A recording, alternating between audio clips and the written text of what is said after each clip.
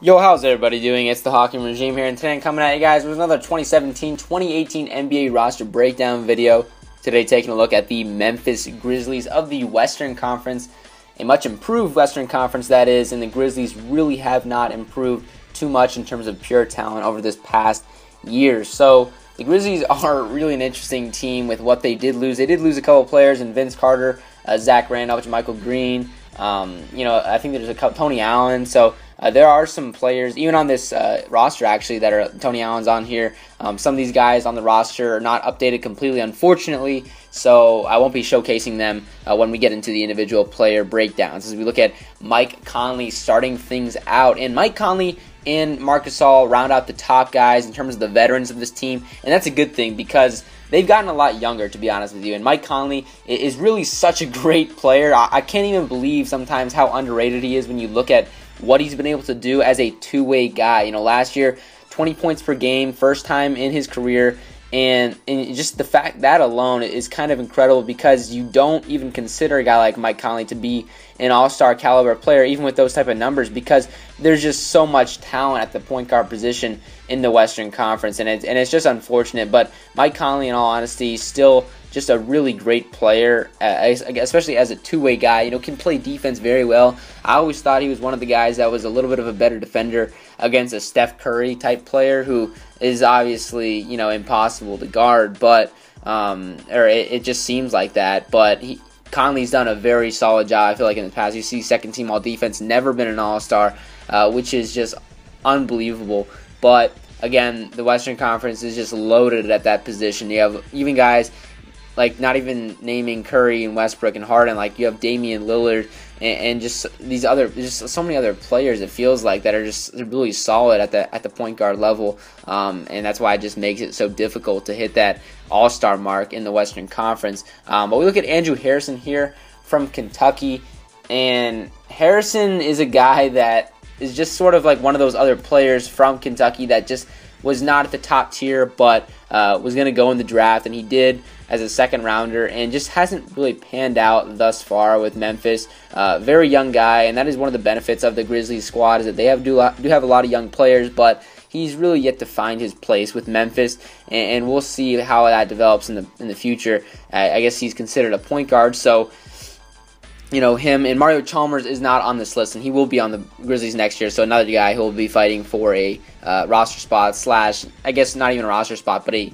position on you know in playing time. And Wade Baldwin, another guy doing that. You saw him in the summer league this year. If you watch the summer league with Memphis, played pretty well at times.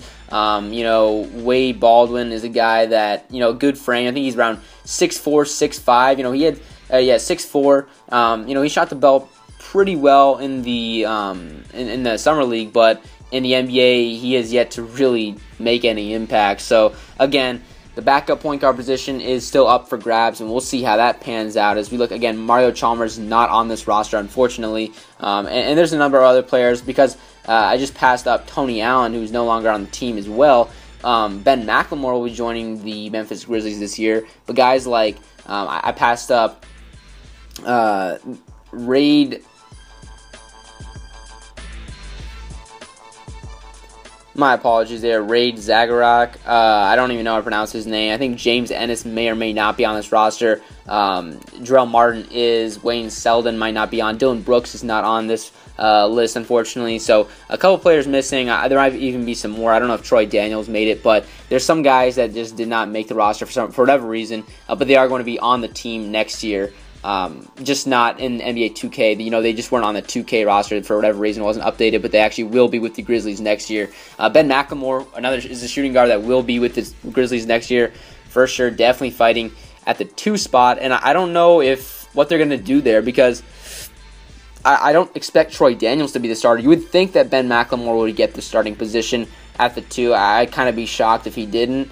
I don't know where else they would go unless they really wanted to go with like a Tyreke Evans position, which would be interesting because he's more of a facilitator. I think he could be really good off the bench, but uh, I don't know what they're going to do there. And Troy Daniels really shot the three ball pretty well last year as a two guard, six four guy, and uh, you know a solid shooter, really good player. I think to bring off the bench. I don't see him as a starter. I don't know if a lot of people really do, but still a really good piece. You know, Memphis offensively at times, you know, they have struggled in the past. So the fact that he's able to bring some offensive presence, especially from the perimeter, is really important. Especially again, as we see the league continue to move into that three point range, uh, you're going to need those players. And Speaking of um, offensive players, Tyreke Evans really early in his career was very good at you know scoring the basketball. You see 10, 15, 16, 14, 15. He can score the basketball on a solid basis, uh, and that was just from going down to the bottom. So he earlier on he, he was getting those higher numbers, and as later on it just kind of dropped off down to 10 points per game last year, but was rookie of the year back in 2010, which is crazy. 20 points per game. Uh, was never known as being a perimeter shooter, but he's actually been able to develop his three point jump shot a little bit uh, better. And again, people complain how they the the um, the Kings screwed up in moving him to a uh, small forward position, which you know is definitely a, a, legitimate argument that can be made. But with Memphis, I'm not sure how you can utilize him. I mean, I guess off the bench would be a great place because I feel like he's more of a facilitator and a driver guy. So I don't know if he would really be worth putting in the starting lineup. I think there's kind of a lot in the air for Memphis. I'm, I'm really interested to hear what Grizzlies fans think uh, what you guys think, basically. Who is going to start where with Memphis? I mean, obviously you have Conley at the one, Gasol at the five, but other than that, I think a lot of the positions are honestly up in the air. You would think Ben McLemore would nab the two spot, but Parsons, even as we look at him right here at the three spot, you know, his health has really been up in the air, so we don't really even know if he's going to be able to play for Memphis consistently, let alone start. So Parsons is a guy, obviously, I think they would expect to start at the three uh, given his contract and, and how you know highly he's been praised over the years, and, and, and now his reputation has just gone down the drain for his injuries and how often he's been able to stay on the court and you know how effective he really is as a player. So as a shooter, you know there's been times where he's just been absolutely phenomenal. You know he he really has lit games up with just his three point ability and you know big frame, six ten, really tough guy to guard from the three point line. Uh, great athleticism as well. So when he's healthy, he's a very good small forward, but that's the thing. He's just rarely healthy. I guess he can also play power forward, so uh, maybe look out for that. But just hasn't really been healthy and hasn't been able to stay on the court too often. As we look at James Ennis for Memphis at this moment right here, uh, 6'7", 210 pound forward out of I believe Long Beach State or no Cal State, my bad, Cal Beach. I guess Long Beach as well. Um, and, and, a lot of these guys, to be honest with you, just don't get a lot of minutes. James Ennis didn't play too, uh, or actually did play a solid role with Memphis last year. 23 minutes per game last season.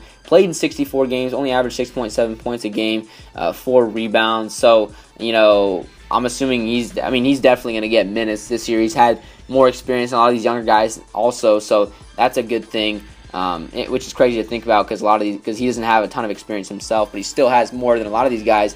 And Deyonta Davis does not have any, you know, very much experience at all. So I would expect Brandon Wright to be the backup center to Marc Gasol as, Deyonta Davis. Basically, would play that. I guess they list him as a power forward spot. Um, I don't know what they're going to do at the power forward spot. I, I'm really curious to see what they do with that because, again, another position that's up in the air, and they no longer have the consistently, you know, efficient Z-Bo there. And speaking of you know efficient, he really hasn't been efficient this offseason with the uh, the weed scandal going on with, with uh, Zach Randolph, and we'll see how he deals with that. But Jarell Martin, I guess, would be a guy that's also um, in contention for a power forward position. I would expect him to get more playing time as well. You know, he's been with Memphis for a, a little bit, so you know maybe he's the next guy up. I just I really don't know. I don't know what's what's going through the heads of, of Memphis Grizzlies, um, you know, personnel and their staff because even a guy like Jarell Martin hasn't played a bunch. Just, a lot of these guys just haven't had a lot of NBA experience with a lot of minutes. And, and Gasol and Conley are the guys that are, you know, the big names that have played a lot. Mario Chalmers also will help with that. Tyreke uh, Evans and Ben McLemore have also gotten a lot of time.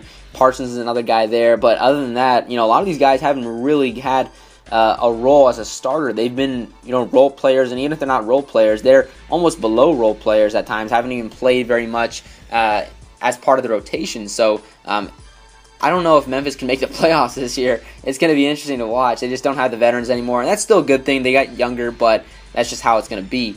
And we look at Marcus Gasol, the oldest player as of right now, if I'm not mistaken, for the franchise. Marc Gasol is arguably the best. You know, one of the best centers in the league, in my personal opinion. He's been able to you know, ex- expand his game to three point line. Great jump shooter, excellent work in the post. Was one time a defensive player of the year winner. A good free throw shooter. He can rebound the basketball, not exceptional in that area. very good passer. I could make the argument that Marcus Gasol is the best center in the league. That's how highly I think of him. Um, I, I, know some people say DeMarcus Cousins. I don't see it personally, but uh, that's just how I feel on the situation. So it's great to have Marcus Gasol on this team as an All Star, first team All NBA player at one point, um, Defensive Player of the Year, like I mentioned earlier. And he, he's really just a great player to watch. Really fun to watch in the post and scoring uh, the basketball, to be honest with you. I mean, there's not a lot of centers I'd rather watch than Marc Gasol. Excellent footwork in the post. Uh, really awesome to, to, watch him play and, and go up against uh, some of the best centers in the league and make them look foolish at times. So, um, Marc Gasol, great player from Memphis. He's going to continue to be that, and that's why a guy like Gasol and Conley, or guys like Gasol and Conley, even with the p- players they have right now, they still have a chance at making the playoffs because of those guys. And uh, David Fizdale, as well as a head coach, has, has been pretty solid. So, you know, he's gained a little bit of reputation for being solid. So, you know, they still have a chance there. Um, but again, we'll just have to see. And Brandon Wright, I talked about this earlier. I expect him uh, being another kind of guy who's pretty much a veteran, uh, given the roster they have, um, that he will be the backup center to Marcus Gasol, which is not really too big of a surprise given you know what he's been able, what he's you know played in the league and what he's been able to do in the league. You know, not that he's been a starter for a consistent amount, but I just think that he's the next closest guy that's gonna uh, uh, be there for uh, Memphis this season, this next upcoming season. But that basically will be the conclusion of the video. Hopefully, you guys enjoyed. You know, make sure to subscribe to the channel for more 2017 2018 NBA roster breakdowns. For Memphis Grizzlies fans out there, I know it's going to be, it, it, could be a tough season. It just, it really depends how the young players mesh. I feel like they just have so much uh, inexperience in general at, at, so many positions and a lot of things up in the air. I don't know how it's going to translate for them. Um, let me know what you guys think. Maybe I'm completely off. Maybe Grizzlies fans are extremely confident with their chances and what they have going right now at the roster. I feel like a lot is kind of up in the air and, and not really smooth and gelled together. And that's for a lot of teams, but for Memphis, I just feel like the lack of experience is going to be tough, and the Western Conference has gotten even more difficult. Um, if Gasol or Conley goes down, uh, this season could you know be over in a hurry for in terms of playoff contention. But that will be the conclusion of the video. Once again, hopefully you guys enjoyed, and yep, thanks for watching.